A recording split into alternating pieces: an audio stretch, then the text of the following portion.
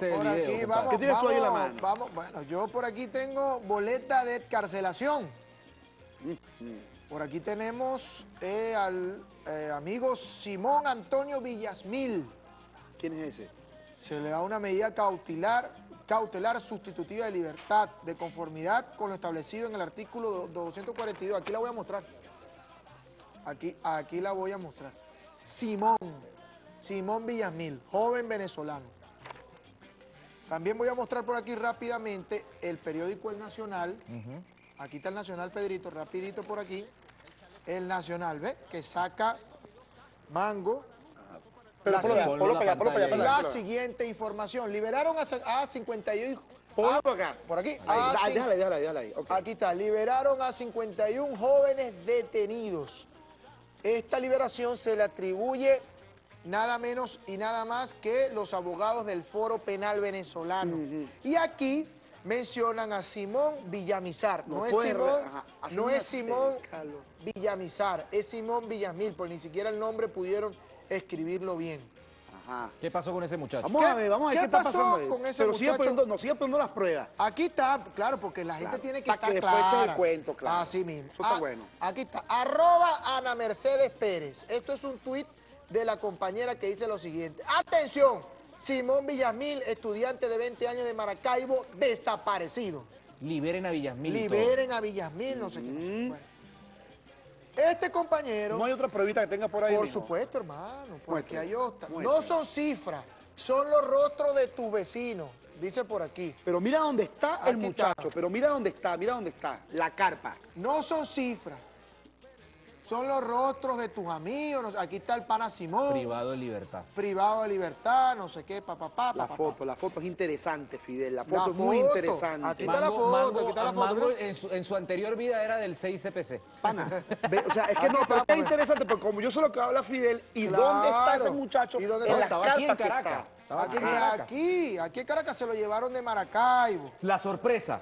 La sorpresa es lo siguiente, Simón Villamil, un joven venezolano perteneciente a las clases populares, llegó de Yare, lo dejaron solo, no lo fueron a visitar, no le llevaron comida, y él mismo va a contar cómo es que reclutan a estos, a estos muchachos y develaremos por completo que estas protestas, estas, estos actos terroristas no tienen nada de espontáneo.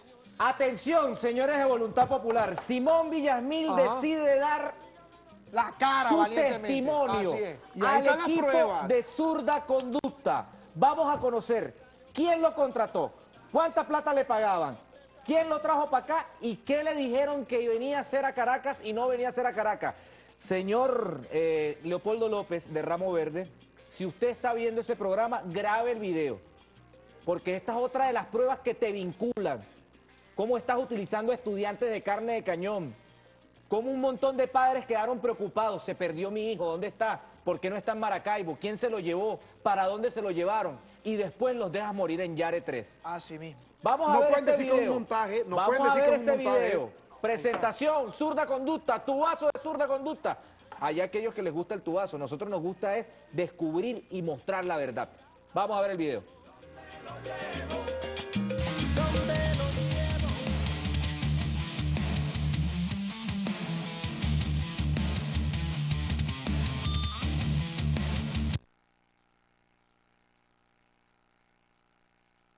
Buenas noches a todo el pueblo de Venezuela. Hoy en nuestro espacio Surda Conducta estaremos mostrándole una entrevista especial con el señor Villasmil y su hijo Simón Villasmil, quien hasta hace pocos días estuvo privado de libertad en la cárcel de Yare 3 por ser partícipe de las manifestaciones, pues de las guarimbas dentro de la ciudad capital.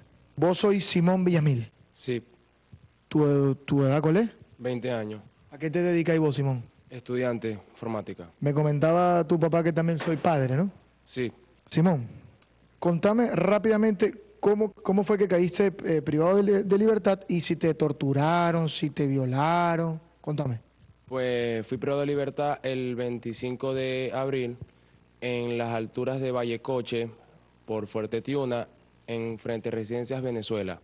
Fuimos privados de libertad, cinco personas, cuatro zulianos y un caraqueño, una caraqueña. Este, fuimos llevados a Yare 3 donde estuvimos en un búnker aislado. No, el trato fue muy bueno de parte de los custodios y de la misma población. Contanos más o menos cómo llegaste vos a Caracas, porque vos sois de aquí de Maracaibo. ¿Cómo te llevaron de Maracaibo hasta Caracas? Este, fui reclutado en sector Palaima, en que nos llevaron al terminal en un bus de voluntad popular que nos dirigió privadamente, o sea, privado hasta Caracas, donde la concentración, la concentración fue en Altamira, en el obelisco. ¿Cómo llegaste a, a- ahí a Fuerte Tiuna? Pues fui a buscar a unos compañeros que estaban en la residencia de Venezuela y me dirigí en un taxi donde ellos estaban recluidos, escondidos. Este, recibí una llamada que estaban por un lado del comando y llegué a la inmediación del comando donde me detuvieron y nos hicieron una requisa. Es decir, que tus propios compañeros eh, fueron cómplices de que te detuvieran, Sí, te entregaron, pues. exactamente. Me han comentado que en ese momento ustedes les pagaron. Sí, nos dieron un como una ayuda para solamente si necesitamos llamar o algo, mientras que ellos nos costarían los gastos de la comida y dónde íbamos a dormir y todo. Más nunca nos, nos- nos- lo hicieron, solamente nos engañaron. Nos dieron un dinero y después el bus se fue y nunca apareció.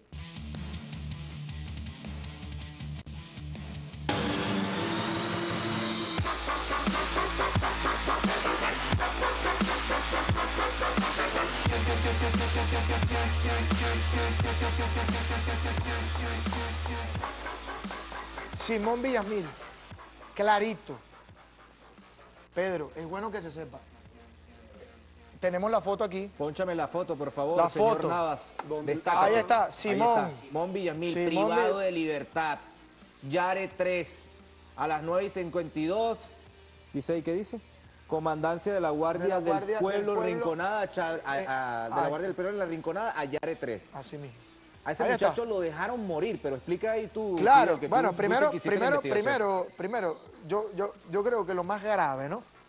Es que esta gente se desentiende de este muchacho, hacen un show por las redes sociales, por los medios de comunicación, dándolo como desaparecido, y ahorita vamos a ver lo que responde su papá con respecto a eso, su papá.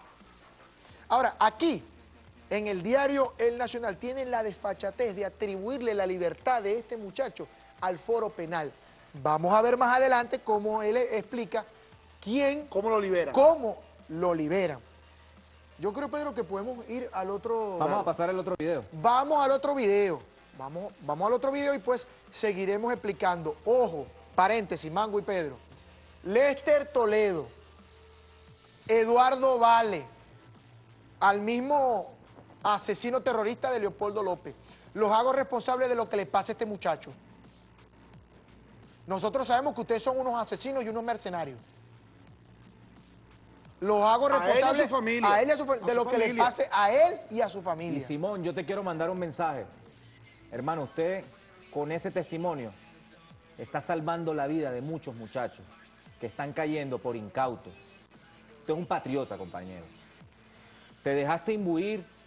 Cualquier persona puede tener errores por presiones mediáticas, por algunos amigos en la universidad, algunos muchachos por novias, se los trajeron para acá, para Caracas. Sí, señor. Las novias le decían, mira, vamos para Caracas, vamos a hacer una cosa de pinga, vamos por una marcha. Y cuando después se quedaban aquí, en el campamento ese en donde encontraron droga, menos mal no te pasó nada, hijo. Eso sí, quiera a sus padres. Yo hablé, estuve hablando cerca con unos compañeros de los bomberos allá de San Francisco John Bravo, John Bravo. con John Bravo, muy preocupado por ti, tu padre muy preocupado por ti, ustedes son chamos humildes y esa gente no quiere nada con ustedes, solo utilizarlos como carne de cañón. Menos mal estás con tu familia, compañero, y estás con tu hijo, tú eres padre. Menos mal dejaste a esos fascinerosos, que después, cuando toman el poder, se voltean y se olvidan de aquellas personas que los ayudaron en algún momento a darle plataforma política. Vamos a ver el siguiente video y menos mal que estás en tu casa, hermano.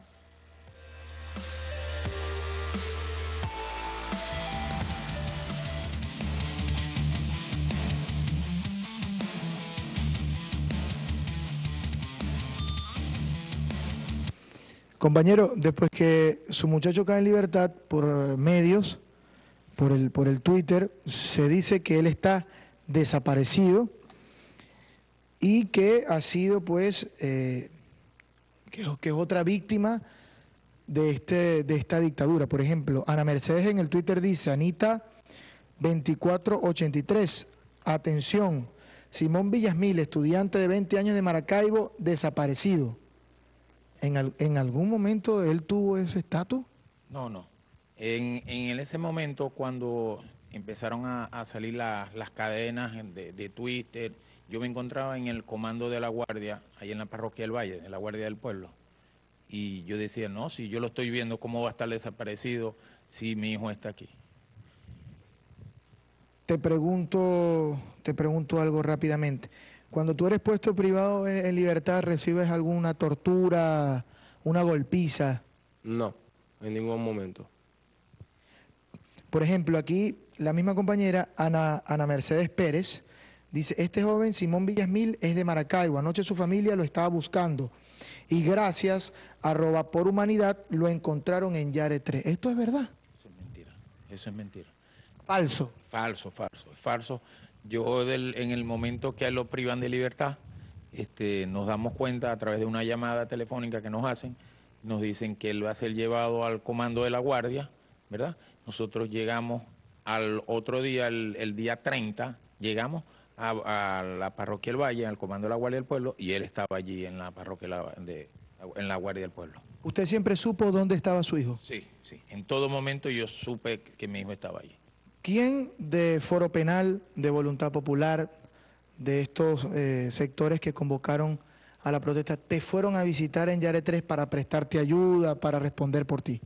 Nunca recibimos visita de foro penal de la misma comunidad de los campamentos que decían que apoyaban a los estudiantes haciendo potazos y todo. Nunca recibimos dinero ni nada. O sea, fuimos obviamente olvidados de parte de todo el mundo. Solamente nuestros padres fueron los que nos estuvieron ahí llevándonos las comidas y estando pendientes de nosotros. Ok, yo voy a mostrar rápidamente, voy a mostrar aquí el diario El, el Nacional. Vamos, vamos a, a mostrarlo, aquí está, miren, para que no digan que es manipulación, ¿no? Domingo, El Nacional, aquí está. Este diario tiene fecha de exactamente domingo 25 de mayo. Y por aquí como, como lo demuestran nuestras cámaras, dice lo siguiente, liberaron a 51 jóvenes y comienza la nota de la siguiente manera. Abogados del Foro Penal Venezolano anunciaron el viernes en la noche la liberación de 51 personas en todo el país, entre estudiantes universitarios y menores de edad que habían sido detenidos entre abril y mayo. Pregunto yo, ¿es Foro Penal el responsable de que hoy usted esté en libertad, hermano? No, ¿Te llamó Foro Penal a ti como representante de Simón para darte la mano? No, yo llamé. Yo los llamaba que me dijeran cómo estaban las cosas y en una ocasión una representante del Foro Penal aquí en el Zulia fue la que me pude comunicar con ella y me dijeron que ellos estaban trabajando por eso. A raíz de eso yo me movilicé a Caracas nuevamente, los familiares de otros muchachos que estaban presos con él, ellos contrataron una abogada privada y empezó a hacer las diligencias por esos muchachos.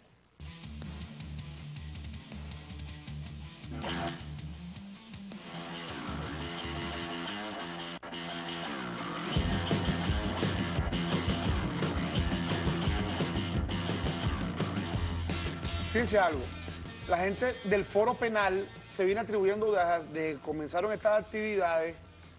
Ellos crearon un- unos equipos que andaban dentro de, las manifestaciones y que supuestos equ- equipos de derechos humanos que no eran más que equipos de jóvenes que estudian en, algunas universidades privadas, en las escuelas de derecho, y se metían allí y lo que hacían era asusar a la gente. Y creaban una, un, un formato de planillas para que la gente lo llenara. Bueno, a mí me maltrató la policía, a mí me dieron un peinillazo, a mi hijo lo tienen preso y tal, y que se, se recogían una cantidad de denuncias.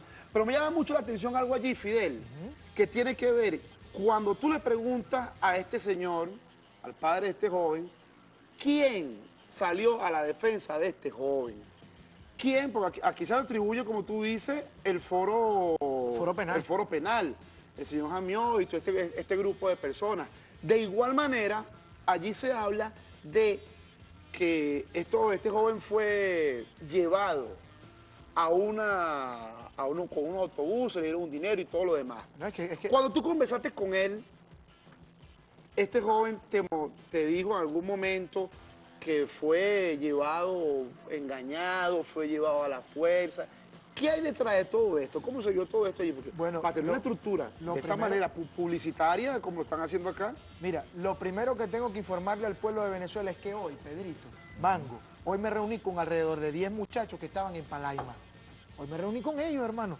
Ellos decidieron hablar conmigo y yo les yo dije, bueno, vamos, vamos a conversar. Y hay muchas cosas, Mango, que la gente tiene que saber. La primera, la primera, es que la gente que se encargaba de la logística de recoger la plata se desapareció. Nadie sabe en dónde está los que estaban en Palaima, los que estaban en la Plaza de la República. ¿Cómo funciona todo esto, Mango? Ellos hacen potazos donde el 60% supuestamente es para el campamento y el 40% le queda a ellos. Así manipulan a los muchachos. No, y- y- Así manipulan a los pero yo creo que muchachos. el potazo es una fachada. es una fachada. es una fachada. Por su, es- y claro, Mango, plata, es una y fachada. reciben plata del exterior por la supuesta Claro. defensa de los jóvenes A eso presos, voy. pero es que claro. a eso voy, Pedro. Ese Imio- A mí me y- contaba, por ejemplo. que es un ladrón y el otro, el otro abogado que supuestamente defiende, se me olvida el nombre ahorita del, Claro, pero del es, mazo que, ese. pero es que a mí me contaba uno de los muchachos, me dijo, mira Fiel, te voy a hablar claro, hermano, a nosotros nos decían que nos iban a dar dólares. No, es verdad, el chamo me lo dijo, pues.